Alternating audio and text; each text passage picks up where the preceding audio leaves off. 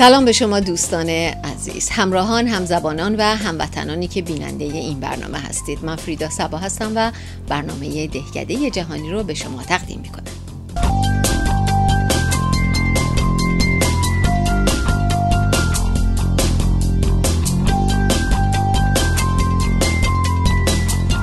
در برنامه امروز هفته پیش مجلس نمایندگان لایحه‌ای رو گذروندن. که عملا این قدرت رو به کمیته های مختلف دادن که اگر اون جوابی رو که خواستن در واقع احزاریه‌ای که فرستاده شده سفینایی که فرستاده شده برای دریافت مدارک اگر اون مدارک رو دریافت نکنن به جای اینکه بخوان برن به جاستیس دیپارتمنت می‌تونن مستقیما برن توی دادگاه. آقای سندرز همیشه به عنوان independent بوده. ایشون صحبتش این هست که ما باید یک حزب یا یک دیدگاه social democracy داشته باشیم.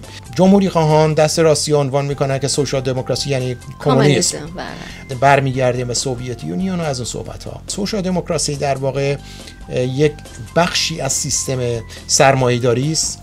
ولی مسئله مالیاتی رو که از تمامی مردم گرفته میشه باید به تمامی مردم برگرده.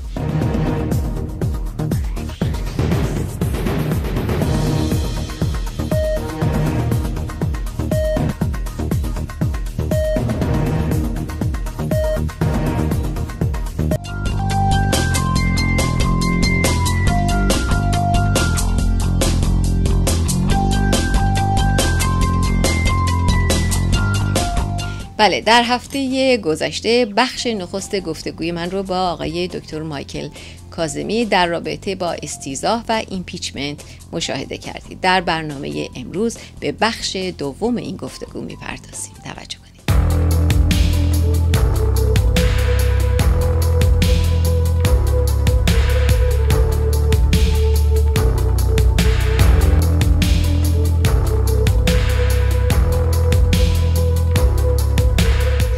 گفتگومون رو ادامه میدیم با آقای دکتر مایکل کازمی.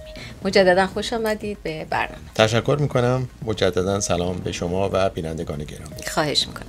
خب برسیم به بخش شیرین و تلخ impeachment که بله. در برنامه گذشته راجع بهش صحبت کردیم. طرفداران آقای سندرز عقیدهشون در این مورد چی هست؟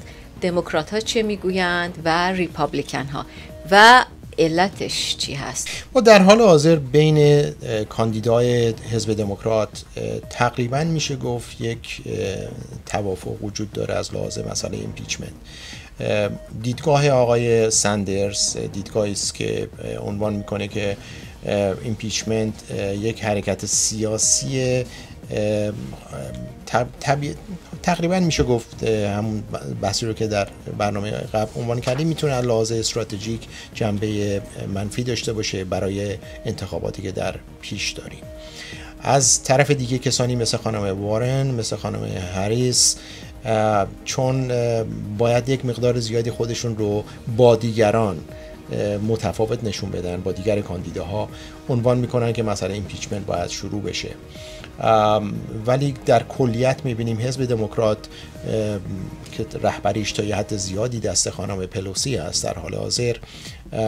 این با این مسئله داره یه مقدار زیادی پولاریزه داره می‌کنه تا یه تا یه حد زیادی و یه مقدار زیادی داره سعی می‌کنه که از مسئله impeachment بیرون بیاد و مسائل دیگر رو عنوان کنه مسائلی که بیشتر ملت بهش احتیاج دارند در دوره انتخاباتی باشون آشنایی داشته باشن ولی نهایتا من فکر می‌کنم به صلاح کلید این استیزاه دست خانم پلوسی است و در حال حاضر ایشون از دیدگاه من حرکت تقریبا مثبتی رو انجام دادن. از یک طرف گفتن این مسئله استیزاه روی جزء برنامه هست ولی در حال حاضر ما بررسی رو داریم انجام میدیم. کمیته های مختلف هستن دارن بررسی های مختلف رو از جوانب مختلف انجام میدن و نهایتا اگر به اون من به موضع برسیم که این impeachment استیضاح احتیاج هست طبیعتا اون رو انجام خواهیم داد شما می‌دونید چند تا شکایت و یا state claim علیه آقای ترامپ هست در نیویورک و state های دیگه غیر از بله یکی یکی که طبیعتا از منهای کنگره چون کنگره یکی مسئله اوراق مالیاتی آقای ترامپ هست که ایشون بله. طبیعتا چون می‌دونیم یک مقدار زیادی توش مسائل منفی برش وجود داره سعی می‌کنه ارائه نده. ولی ایالت نیویورک هست در رابطه با مسئله بانکی ترانزکشن های بانکی در اونجا هست. و یکی مسئله هتلی که ایشون در نیویورک دارن و مسئله مثلا درآمد اون هتل از چه جانبی هست و این از اون در اون قسمت هست. از طرف دیگه کسانی رو که دولت نیویورک در رابطه با آقای منافورد هست یک که دارن سعی می‌کنن چون یکی از مسائلی که آقای ترامپ داره عنوان می‌کنه این هست که حالا گوش زد می‌کنه این ولی این هست که امکان داره ایشون رو در واقع ببخشه. آقای منافورد رو همین الان میدیم در رابطه با مسئله آقای مایکل فلین هم به همین صورت است. چون آقای مایکل فلین در دو هفته قبل وکیل قبلی خودش رو بیرون کرد و وکیل جدیدی گرفته و الان صحبت این هست که بخوان اون به اعترافاتی رو که ایشون داشته پس بگیرن. و در واقع دارن یک مقدار چشمک می‌زنن به آقای ترامپ یا یا برعکس که اگر شما یه سری مسائل رو عنوان نکنید امکان داره آقای ترامپ شما رو ببخشن. ولی رئیس جمهور فقط می‌تونه federal crime رو pardon کنه نه state state رو نمی‌تونن. بله دقیقا به همین صورت است. البته آقای فلین آقای منافورت در حال حاضر که آقای منافورت در زندان هست. بله. آقای فلین بیشتر در رابطه با جرایم فدرال هست که تحت به اصطلاح حیطه ریاست جمهوری قرار بله. می‌گیره ولی از طرف دیگه ایالت نیویورک هست. ایالت ویرجینیا هست که یک سری از جرایم رو against این افراد آوردن که طبیعتا در حیطه بخشش ریاست جمهوری قرار نمی‌گیره. بله خب نتایج اینها اگر حکم به guilty بودن بده این پروسش چی است؟ چه خواهد شد؟ اگر از لحاظ ایالتی منظور ایالتی بله. ایالتی طبیعتا طبق قوانین ایالتی شخص می‌تونه بره زندان.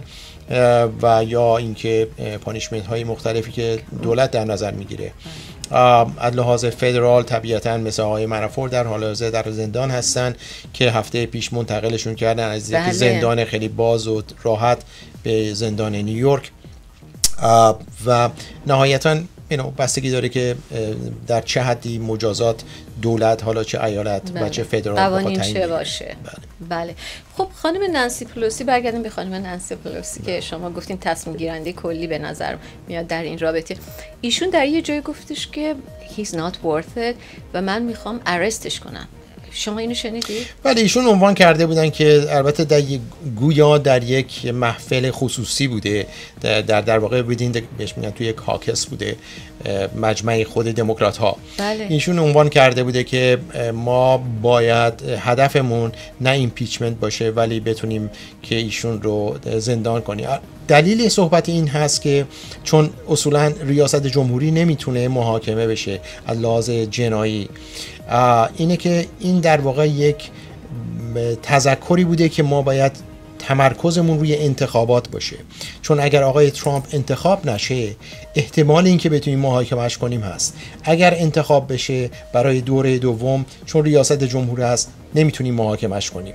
و تا زمانی که دوره بله. بعد از بین بره statute of limitation run شده دیگه ایشون شامل مرور زمان شده بله. نمیشه. من فکر می‌کنم بحثشون بحثشون بیشتر در این رابطه بوده. چون صحبتی رو که معمولا خانم پلوسی می‌کنن ایشون خیلی دقیقا روی صحبت هایی که می‌کنن با در نظر گرفتن تجربه ای که سالیان سال در بله. خود آقای ساندرز هم ایشون نظرش صحبت آقای ساندرز این هست که ما در حال حاضر باید بررسی ها رو ادامه بدیم. impeachment هنوز زود هست.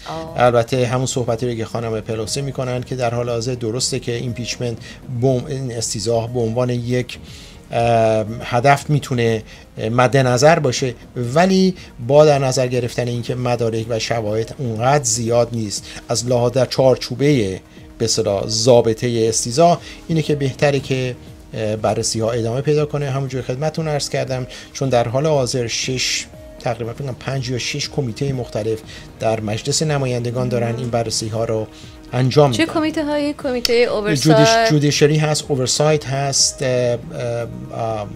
foreign relations هست امور مالی هست.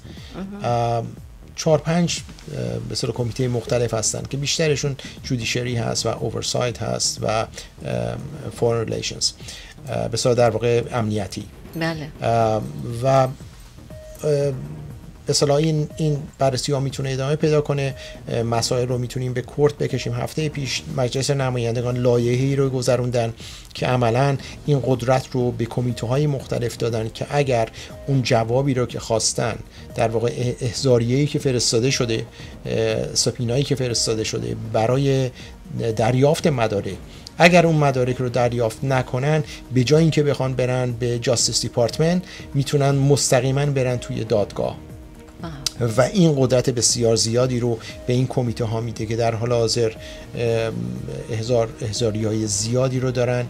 و مدارک زیادی رو می‌خوان از جمله مسائل مدارک مالی و تکس آقای ترامپ هست مسائلی در رابطه با سیاست خارجی امنیتی هست و مسئله مهمتر مسئله سنسس که در واقع گفتن که چون چون هر ده سال هست که در واقع همهگیری انجام میشه همه پرسی همه پرسی بله. و در سال 2020 اون census ی که داره بیرون میاد دولت آقای ترامپ سعی در این داره که بتونه مسئله یک question سوال دیگه ای رو بگنجونه که آیا شما تبعه آمریکا هستید یا نیستید بله. صحبت آقای ترامپ و دولت آقای ترامپ این هست که ما بخوایم ببینیم که آیا چه, چه تعداد citizen در آمریکا وجود داره تبعی وجود داره ولی اون چیزی رو که در زیر مسائل داره حرکت میفته این هست که چون زمانی که این سوال وجود داشته باشه خیلی ها این جواب نمیدن و این census رو کامل نمی‌کنن. طبیعتا می‌تونه روی مسئله جمعیت تراکم جمعیت در حوزه های مختلف انتخاباتی این نتیجه منفی داشته باشه و اینکه بتونن به اصطلاح gerrymandering انجام بدن بتونن بگن به عنوان مثلا ما حوزه انتخاباتی رو به این صورت می‌کشیم چون تراکم جمعیت در این منطقه کم هست در این منطقه زیاد بله که بیشتر electoral داشته باشه electoral داشته, باشه. داشته بله. باشن و بیشتر electoral رو در جاهایی که می‌دونن طرفدار زیاد تری جمهوری خواهان به دست بله. بالا رو پیش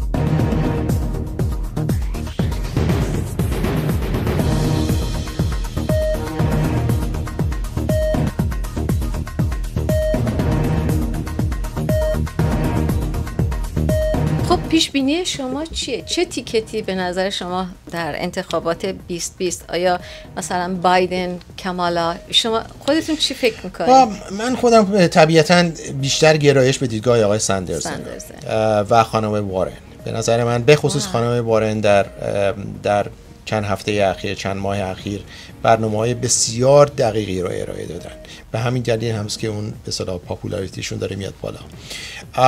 ولی از لحاظ استراتژی باید در نظر داشته باشیم که شرق آمریکا و غرب آمریکا همیشه در واقع آبی رنگ بوده و طبیعتا دموکرات ها شرق و غرب آمریکا رو دارن. شهرهای بزرگ شهرهای نیویورک، نیوجرسی، بله. باستن، لس آنجلس و غرب آمریکا. ایالاتی که خیلی مهم هست در انتخابات بعد همونطور که در انتخابات 2016 هم بهش رسیدیم این هست که ایالاتی مثل پنسیلوانیا، میشیگان، ویسکانسین، اوهایو بهش میگن راست بیلت. اون ایالات هستند که باید در واقع به نظر من انتخابات رو تعیین خواهند کرد به خصوص پنسیلوانیا و میشیگان. حالا اگر به عنوان مثال تیکتی باشه با به عنوان مثال آقای سندرز و خانم کاملا هریس این در واقع اون ایالات رو یه مقدار زیادی کنار می‌ذاره به نظر من یک تیکت قوی باید هم کسانی رو داشته باشه که از اون منطقه هستن که در حال حاضر خانم کوربشار هستن ایشون مال مینسوتا هستن. البته پاپولاریتیشون زیاد بالا نیست. خیلی آقای... جدی هستن و خیلی سختگیر. خیلی سختگیر اینطور شنید ما شنیدیم. بله. آقای اورورک هستن که ایشون مال تگزاس هستن. تگزاس ایشون آقای کروز با یک درصد خیلی پایینی انتخابات سنا رو بردن. اگر شخص بتونه تگزاس رو بگیره تگزاس حدود 33 الکتور داره. بله. با combination نیویورک کالیفرنیا مساچوست و نیو انگلند اون بالا. عملا میشه گفت دو سوم الکتورها در دست اون تیکت خواهد charisma داره. بسیار ایشون charisma هستن بیشتر اون شخصیت تقریبا میشه که بابی کندی رو. بابی کندی. شکل و شمایل هم یه جوون هستن و بسیار خوش صحبت و خیلی energetic صحبت خیلی صمیمی صحبت می‌کنه. بله ایشون و در قشر جوان آمریکا هم ایشون طرفدار زیاد داره چون توی گروه musician بوده و بله خب باز باید در نظر داشته باشیم که از دیدگاه من همیشه اون principle به صلاح پلتفرم خیلی مهم است base. اون base خیلی مهم است و نهایتا به نظر من جمهوری خواهان همونجور که به طرف راست کشیده شدن اون به بخش پوپولیزم دست راستی دموکرات ها باید پوپولیزم دست چپ رو حمایت بکنن که می‌بینیم آقای ساندرز خانم وارن هست و در حال حاضر این دو شخص از دیدگاه من بیشتر من باشون موافقه یعنی سنتر بیشتر باشن سنتر بیشتر این اینا به طرف سن... به سنتر. با سنتریستا بیشتر مثل خانم کاملا هریس هستن که به نئو لیبرال ها بهشون میگن به نظر من آقای سان ساندرز که صحبتی رو که چند روز پیش کردن در رابطه با سوشال دموکراسی یا دموکراتیک سوشالیسم بسیار بله. بسیار صحبت مهمی بود و دقیقا همون حرکتی رو که آقای اوباما در رابطه با مسئله race نژاد عنوان بله. کردن که عملا یک حالت به اصطلاح popularity شون رفت بالا.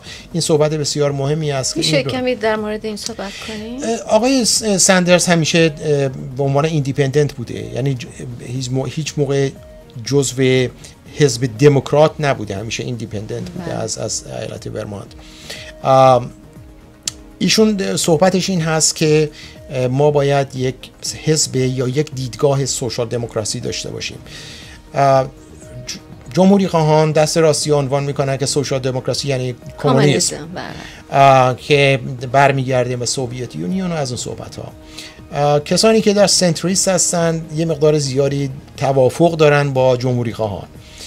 ولی صحبتی رو که آقای سندرز می‌کنه سوشال دموکراسی در واقع یک بخشی از سیستم سرمایه‌داری است. ولی مسئله مالیاتی رو که از تمامی مردم به صلاح گرفته میشه باید به تمامی مردم برگرده. در حال حاضر می‌بینیم که از دیدگاه من آمریکا تا یه حد زیادی اون چهارچوبی سوسیالیسم رو داره ولی سوسیالیسم کورپوریشنز در واقع بانک هایی رو که می‌بینیم ورشکست شدن در سال 2008 دولت اومد کمکشون کرد بیلیون ها دلار بهشون داد, بله. در حال حاضر می‌بینیم صحبتی رو که آقای ترامپ می‌کنه در در مسئله تعریف های گمرکی که باعث ورشکستگی فارمرها و مزرعه داران شده. ولی؟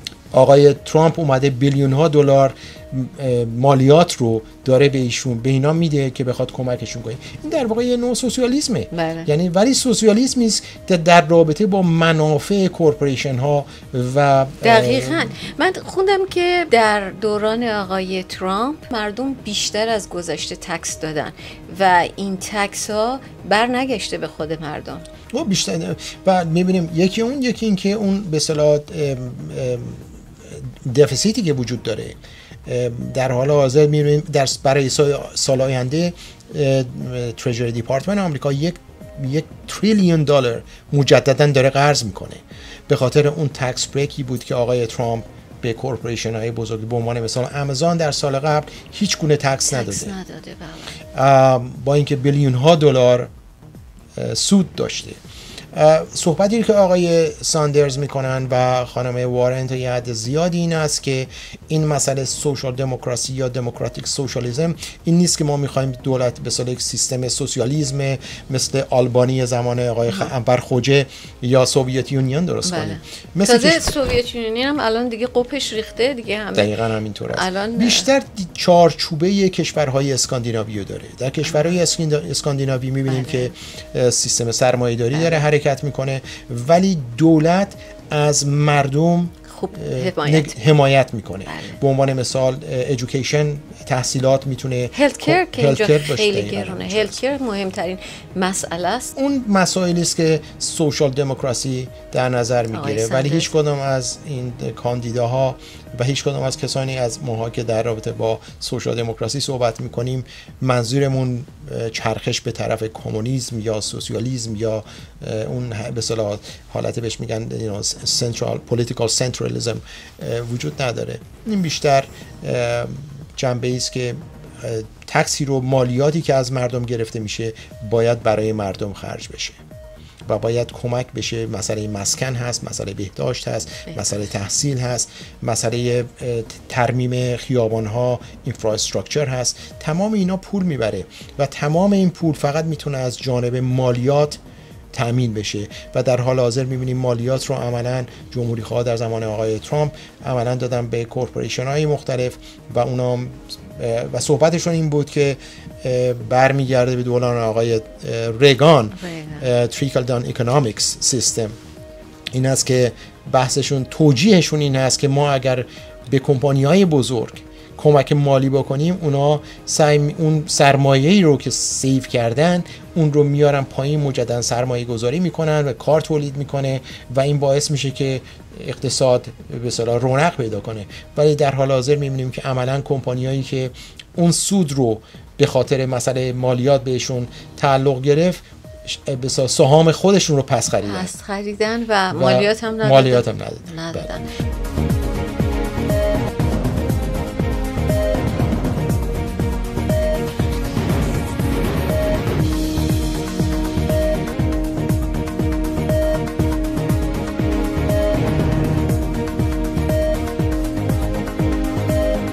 حزب جمهوری خواه به کجا میره؟ با این طرفداری ها و جانبداری هایی که از تصمیمات اخیر ریاست جمهوری می‌گیره. آیندهش فکر می‌کنید به کجا می‌رسه؟ من فکر می‌کنم عملا حزب جمهوری خواه اون زیربنای سیاسی که داشت و اون به صلاح تمرکز ایدئولوژی که داشت که برمیگرده تا حدی با آقای ترامپ برمیگرده. به زمان آقای نیکسون حتی آقای آیزنهاور اون اون رو از دست داده. عملا حزب جمهوری خواه در این دو سال قبل یک حالت کالت مانند پیدا کرده که آقای ترامپ در واقع اون شلاق رو داره می‌زنه و کسانی که در مجلس هستن عملا دنبال روی دیدگاه اینا هستن که جای تاسف داره. البته نهایتا من فکر می‌کنم کسانی که واقعا معتقد هستند و کسانی که به اون ضابطه سیاسی و دیدگاه درونی خودشون معتقد هستن عملا یواش یواش از اون حزب جمهوری خواه دارن میان بیرون. به عنوان مثل آقای آمش هست که آمش بله. ایشون لیبرتریان هستن و ایشون داره اومده بیرون. من فکر می‌کنم اون در واقع شکافی است که یواش یواش داره اتفاق میفته از دیدگاه حزب جمهوری خواه تا اونجایی که بتونن قضات خودشون رو از خانه کانفرمیشن بگذرونن و بله. متاسفانه از دیدگاه من بزرگترین ضربه ای بوده که آقای ترامپ به دولت آمریکا زده با, با در هم دیوان عالی کشور هم در حد دادگاه های فدرال می‌دونید حدودا چند تا قاضی در حال حاضر مثل که حدودا 120 دادگاه فدرال رو پرسی های دادگاه فدرال, فدرال رو پر کردن ایشون. که اینا در واقع میشه گفت اون خط اول بله. مسائل فدرال هستن که باید دیستریکت کورت ها هستن که تصمیم می‌گیرن و بعد میره بالاتر میره به سیرکت کورت و بعد می‌رسه به دیوان عالی کشور. و از دیدگاه آقای مکانل تا اونجایی که بتونه این قضات رو بدون اینکه در نظر بگیرن آیا کوالیفیکیشن های این قضات در چه حدی هست بتونن از اون خانه کانفرمیشن بگذرونن و به کرسی برسونن از دیدگاه آقای ترامپ حمایت می‌کنن حداقل مخالفت نمی‌کنن بله و برای سی چل سال آیندهم اکثرا هم جوان هستن بله، و بله. الان سوپریم کورت هم که در واقعا داره اکثریتش بله سوپریم کورت در حال حاضر می‌بینیم که عملا در چند پرونده گذشته پنج چهار بوده اونطور که حدس می‌زدیم البته هنوز مشخص نشده که آقای ها کجا است گاهی اوقات بله. هم به عنوان مثال یک پرونده ای بود که هفته پیش آقای ها با لیبرال ها بله. جبهه گرفتن و اینه که هنوز مشخص نشده ولی بیشترین خطر رو به نظر من اون بیشتر در حد دادگاه های پایین فدرال هست. دیستریک کورت ها هستن که تونستن عملا پر کنن کرسی ها رو. خب پس باید منتظر باشیم و ببینیم که نتیجه رقابت های کاندیداهای بسیاری که در حزب دموکرات هست به کجا خواهد انجامید و چگونه تنگاتنگ می‌تونن در برابر آقای ترامپ خودنمایی کنن بله. و رقابت بکنن در هر صورت بسیار سپاسگزارم از حضورتون در این برنامه مثل همیشه آگاهی دهنده و بسیار مورد استفاده همگی ما قرار گرفت. مرسی